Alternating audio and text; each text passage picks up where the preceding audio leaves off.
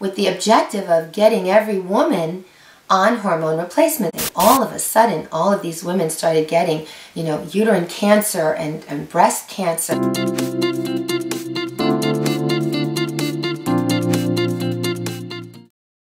Because menopause is such a hush hush subject in our society, oftentimes women don't know where to turn for help with the difficult symptoms that are common during this transition.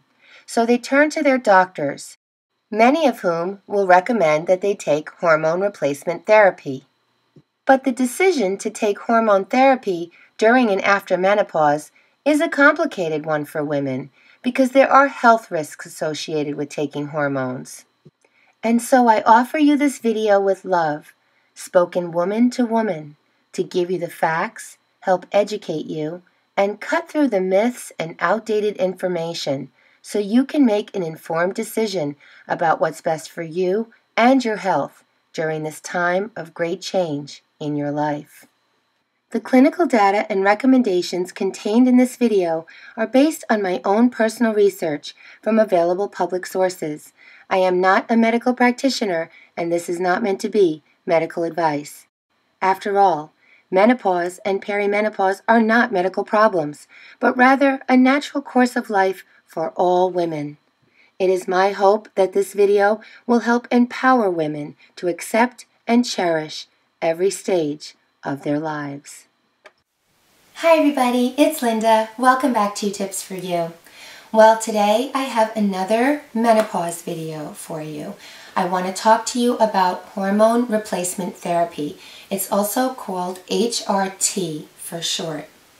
And I'm want to do this video because I want to share the facts with you. I'm very disappointed about the narrative that I have come across on YouTube and elsewhere directed towards women at their most vulnerable time in life where we are going through a very difficult transition. I think the information that's being put out to women is from the dark ages. It is from a time before we had all the information that we do now. I want to share with you um, what I've learned and I want to support you in your decision, but I want you to have all the facts. I want you to know what you're getting yourself into. Using hormone therapy has big risk factors. I'm going to get into them in a big in a, in, a, in just a moment, and you need to be aware of them so you can make an educated choice. Back in 1993, there was a tremendous clinical study done, clinical trials and observational studies on women, menopausal age women between 50 and 79. it was one of the biggest studies ever done in the United States. It was called the Women's Health Initiative, and it was a multi million dollar, 20 plus year project sponsored by the National Institutes of Health and the National Heart, Lung, and Blood Institute, and it originally enrolled 161,808 postmenopausal women. And of those postmenopausal women, 27,347 of them participated in one of the major components of the Women's Health Initiative, which was the randomized control clinical trials that were being done to study the effects of hormone replacement therapy for the prevention of heart disease, osteoporosis, and breast cancer. And they also evaluated the effects of hormone therapy on endometrial cancer in women that had a uterus. For the purposes of this study, they separated the 27,347 women into two groups those that had a uterus and those that did not have a uterus because they had a hysterectomy. And the reason that they did that is because they had to give two different types of hormone therapy to these women depending on whether they had a uterus or not. If you don't have a uterus, they give you estrogen only. And if you have a uterus, they give you estrogen plus progestogen because they need to give you progestogen in order to prevent endometrial cancer, which is cancer in the uterus lining. I just want to clarify something because I noticed I used two different words and I don't want to confuse you. But progestogen and progestin mean the same thing. Those are the names given to synthetic hormones, that are created in a lab that are to try to mimic the natural hormone progesterone. The natural hormone progesterone is produced by the adrenal glands and the ovaries in women. So, this giant study was stopped early because it was found that the risks far outweighed the benefits. The trial of estrogen plus progestin was stopped three years early in 2002 because of an increased risk of breast cancer, heart disease, stroke, blood clots, and overall harm. Please take note of the increased risk percentages of these diseases. They are statistically significant. And the trial of the estrogen only group was stopped one year early in 2004 because of increased risk of stroke and blood clots and no overall benefit.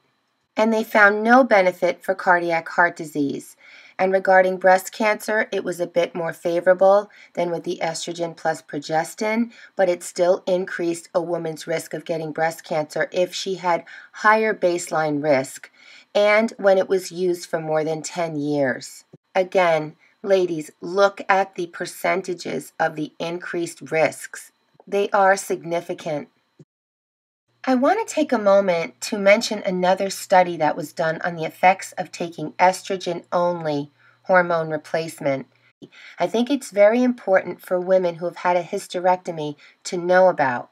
It was conducted by the United States National Cancer Institute's Division of Epidemiology, and it was done between 1978 and 1998, and it studied 31,354 women, average age 56 at the start of the study.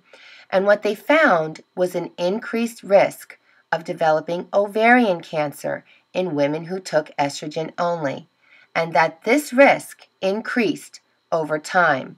So, not only does taking estrogen only hormone therapy cause uterine cancer in women that have a uterus, but it can cause ovarian cancer in women that do not have a uterus, but still have one or both of their ovaries. Now I'll return to the data from the Women's Health Initiative study. The Women's Health Initiative trials found that taking either estrogen plus progestin or estrogen only increased a woman's risk of developing dementia and Alzheimer's disease by 15 to 38 percent, and it increased urinary incontinence and bladder infections by 50 to 60 percent, and it increased gallbladder disease also by 50 to 60 percent. And they also studied the effects of hormone treatment on other symptoms and quality of life, and they found mixed results. They found that mood and depression were not affected, that vaginal dryness was relieved, but vaginal discharge was increased, that headaches increased or developed, and that there was an increased risk of hysterectomy. Vaginal bleeding was also very common in the estrogen plus progestin group, and breast tenderness increased two to fourfold. Now, to be fair, there were some positive findings that came out of the study, and they were that hot flashes and night sweats in women ages 50 to 54 were decreased by 64% in the estrogen and progestin group and 28% in the estrogen only group, and hip fractures had also decreased. Unfortunately, though, these benefits were temporary because once treatment was stopped, hot flashes and night sweats increased, and any benefits to hip fractures were lost. So, by taking hormone replacement therapy, you are risking your future health for a natural process that's temporary, a process that your body knows how to deal with. And you're taking this risk in your midlife, which is a time in life when a person naturally, due to age, is at an increased risk for developing certain diseases. Not a great risk reward ratio, if you ask me. What do you think? Let me know below in the comments. As a result of this study, hormone replacement therapy is now being called hormone therapy because the new thinking is that you are not trying to replace your estrogen, your hormones. You are not trying to compensate. That thinking is no longer useful. It is no this study proved that women don't have to compensate for the loss of their hormones. um, they are not at risk for diseases suddenly because they don't have estrogen. You are at no more risk for disease because you've lost your estrogen and you've gone through menopause than you were before. The only thing that causes any kind of increase in disease risk is age. That's it. We're getting older and there's nothing we can do about that. And I feel like we should feel blessed that we are in this age and that we're going through menopause because you're alive. And the good news for women is that as a result of the Women's Health Initiative clinical trials, hormone therapy use among menopausal and postmenopausal women in the United States declined from 44% usage in 1988 to 1994 to 4.7% usage in 2010. You may also be interested to know that the United States Preventative Services Task Force, which is the governing body of independent medical experts that put forth guidelines and recommendations for the preventative health services for the population of the United States, does not recommend hormone therapy for the prevention of chronic diseases in postmenopausal women, including women who have had a hysterectomy, they state that the harms significantly outweigh any benefit, and they refer to both the pill or oral form and the patch or transdermal form of HRT. Now that we know the dangers of hormone therapy, let's expose some of these false narratives and scare tactics. Because you may be wondering, where did this false narrative come from that women should take hormone replacement therapy or risk not only losing their youthfulness, but leaving themselves susceptible to life threatening diseases? Well, it all started many years ago with a book that was sold to the masses, and it was called Feminine Forever. And the author of the book was Robert Wilson, a Manhattan gynecologist with strong financial ties to hormone drug makers. He demeaned women, played on their insecurities, and used pseudoscience and scientific sounding promises of youth and beauty and good sex in his book to convince women that estrogen was this so called youth pill, which was the answer for all of life's ills, when actually it was all part of a tremendous marketing campaign aimed at menopausal women to sell hormones and although we now know the facts about the risks of hormone therapy, the shocking reality is is that much of this misinformation still persists and is still being promoted to women, and right here on YouTube, as I mentioned in the beginning of this video. This false narrative is being put out there to women at their most vulnerable time, telling them that when you go into menopause, you know, your ovaries stop working, um, your vagina is shrinking, and you are now left wide open for diseases to start in your life. This narrative was put out there by doctors, some of which are female doctors, and I was actually quite surprised at the tone and how negative it was, almost making women feel like, you know, you're shriveling up now and you are just losing everything and you're going right towards disease and right downhill. And that's not true. It's just simply not true. So, why, you ask?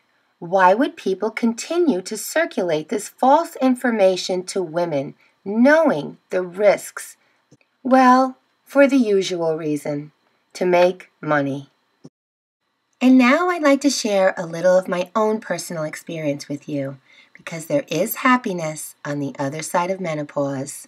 And I know it is hard. Believe me, I went through it. I am now three years post menopause, so I am three years past the day of my last period. I'm 55 years old and I went through menopause. I had my last period when I was 52. And I have to tell you that the two years after that date, that date that I no longer had my period, that was my last period, were difficult. Okay, I, I, my personality, I, I was never somebody who was depressed or, you know, anxious or or moody, and boy, did I get hit over the head. Okay, I experienced all of that because, you know, your hormones are so sensitive and they so much regulate your mood, the ups and downs, and you know, you, you, you're, you're better off just really going with it and accepting it and trying to adjust yourself because the adjustments that you learn going through this process will help you as you get older. You learn so much. I learned so much about coping, about how to uh, mitigate the effects of the hormonal fluctuations, certain uh, foods and herbs, changing diet and lifestyle, and adjusting. And no, you don't lose your vagina. It doesn't shrivel up. Yes, it gets more sensitive. Yes, it can thin. I mean, you know, it's kind of a revolutionary moment where a woman suddenly realizes how there was a higher power involved in your creation and that you are really like designed to procreate, to have a child, to, to continue the human race. And everything from the moment you're born is set up that way. You're born with all the eggs you're going to have. And then by the time you start ovulating, I think you only have about 200,000 left. And each month that goes by, you lose an egg, and some sometimes more. Um, you know, you, you some of them just get absorbed by the body, and they make estrogen, and they are there every month preparing for you to have a baby. And when you don't, the whole process starts all over again. And you never really think about it. You kind of get into your groove, you understand your body, you're juggling everything in life kids, you know, relationships, homes, jobs, everything. You kind of have everything going, and then all of a sudden, boom, things start to change.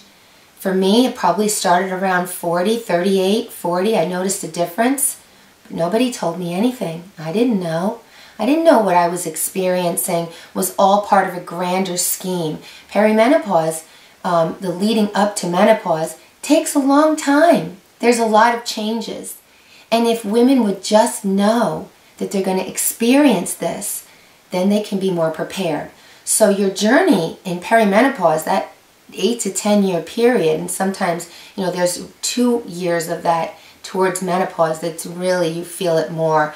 Um, but it, it ebbs and flows. Um, you know, sometimes you feel fine and you and you, you feel like your old self, and then other times you're like, geez, what's going on?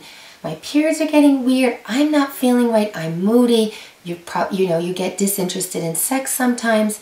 This is all part of the natural process. And there's a lot you can do. You don't have to turn to synthetic hormones. You can try your best. The recommendation now is to try to get through it naturally without turning to that. The only time they're prescribing hormones is if a woman has severe hot flashes, basically called vasomotor issues, like severe hot flashes and sleeplessness. And then, you know, you talk to your doctor, you have to weigh your risk factors and discuss it with your doctor, but you have to know what you're up against. Okay? And they'll recommend if you if you're going to take it, that it's for the smallest amount of time, the lowest possible dose, and then you have to see how you feel. But what women need to know is that it will make things harder for you in the future. It's tough to get off those hormones. It really is. Some women have tried cold turkey, um, others have tried reducing it slower. But you've just thrown a bunch of estrogen in your body. You've tried to regulate something that is now in like haywire and trying to regulate itself. It's incorporating your adrenal glands and uh, your liver and your brain. Everything's working together for your transition, and then you go in and you throw something synthetic. And not many women know what the hormone is made of. And I noticed that when this question was posed to some of these um, doctors uh, on YouTube, they, they, they dodge the question. Um, it's made up of conjugated equine estrogen taken from pregnant horses. What they do is they catheterize a pregnant mare, a pregnant horse, and they drain her urine and they use that in a lab to chemically create estrogen. And that's what they're giving you. And then they'll use also progester- progestogen and they, they make that from like, you know, a combination of wild yams and things. And then obviously chemicals. And they try to give that to you to, to, to give you what they think your body is missing and is going to help you with the hot flashes. And apparently it does. Apparently, it's helpful for the hot flashes and for the sleeplessness, but again, it's a temporary band aid, and you are not, you know, learning how to get through it. Okay, we gain wisdom whenever we go through things. So you're not doing that. You're literally postponing it.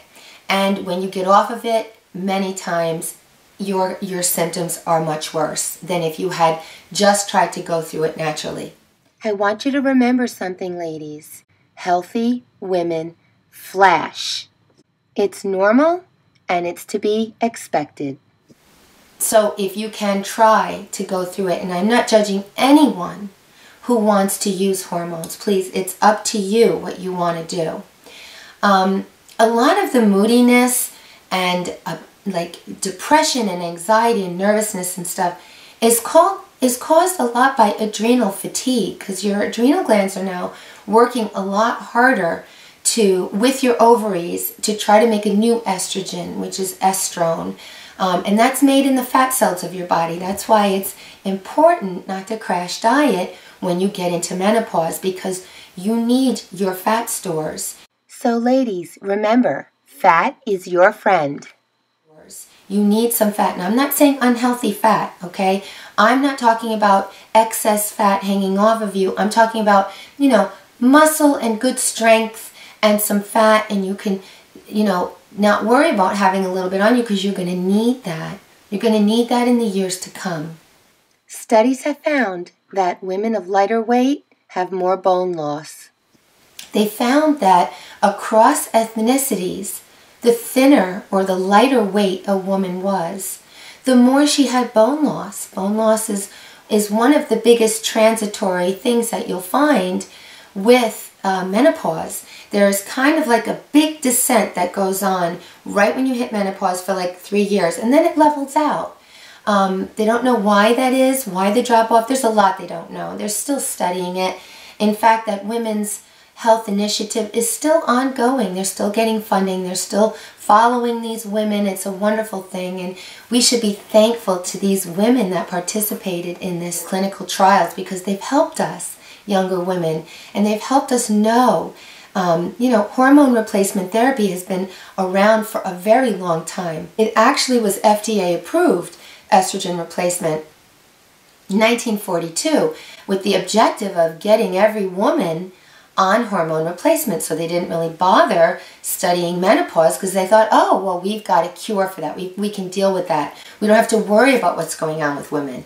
And then all of a sudden, all of these women started getting, you know, uterine cancer and, and breast cancer and blood clots. And they went, whoa, whoa, wait a minute. And they did another study. And around 1975, they found out that uh, um, just having the estrogen was really a problem and they needed then somebody came up with the idea okay well we have the uterus is all about progesterone so we need to supplement the uterus to protect it from getting cancer and that's how they came up with the estrogen and progesterone. I was also at my doctor's office complaining about my moods and what's you know going on with me my lack of feeling like i'm alive and had a purpose and I was just so unhappy, really. And that's all she could offer me was, well, I could give you hormone therapy, but that wasn't an option for me. I did not want to do that. So I was left figuring it out on my own, which I did. And please, if you haven't watched my menopause, perimenopause video, signs and symptoms, and my experience, please watch that and I'll link that below too because I share a lot of helpful ways that you can ride this wave. And that most of it has to do with making sure you get phytoestrogens into your diet. And the best one for me was edamame and the red clover. And there's also a pill that you can take too. If you are more inclined to take supplements, I'll link that below. And it has red clover in it as well as uh, I think it has soy in it. And women have found that very helpful. And these things do work. And no, there aren't clinical trials because they can't do clinical trials on herbs and, and phytoestrogens and plants and things like that because they can't standardize it. So, you know, these are, doctors have to go with science-based things. And they, they tend to not go with these lifestyle choices, which, believe it or not, end up being much better for you in the long run and in the short run than taking any kind of drug. Now, I want to tell you that once you get past this two to three year time frame, okay, which for me was good two solid years, you're fine again. The hot flushes and flashes subside. You can sleep again. Your mood comes back. I have told so many women this. Hang on, hang in there, because you will get through it. And when you look back, it's just like a blip in your life if every woman focused on the pain and suffering they went through to have a baby, they'd never have another one. Yet women go on to have several children, do they not? We forget. We forget the pain. We forget. How about the morning sickness? Boy, I was sick for months, but yet I still got pregnant again and had a second baby. Okay, so we're tough. We can do it. You can get through this. And if you can't and you want to discuss hormone therapy with your doctor, then do so. But know you are increasing your risk of cardiovascular disease, uh, strokes, and blood clots considerably. People are spinning the data, and I want you to be aware of that. Okay, they're saying, oh, well, there's an additional eight people that got breast cancer. Well, that it was considered statistically significant the eight people out of 10,000 women that got um, breast cancer, the eight women um, that got cardiovascular disease, the eight additional people who got um, pulmonary embolisms and blood clots, okay? It was, you've got to put those all together because you don't know which one you're going to get. You don't know. Don't focus just on the breast cancer thing.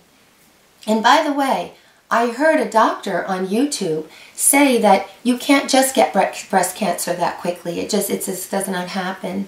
That it takes time and you and no it doesn't. You can get breast cancer within one year. I have one year by the time you're my age, 55 years old, you have seen and you know women with breast cancer.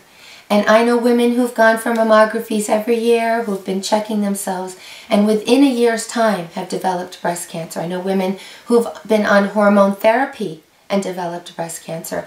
I know women who have been on the birth control pill and developed blood clots and have said and have gotten off of them immediately and will tell all of their friends don't take birth control pills. There is a risk. You know, when the pill first came out, that's why they know a lot about estrogen. When the pill first came out, um, the pill um, was very high dose, high, much higher doses than it is today.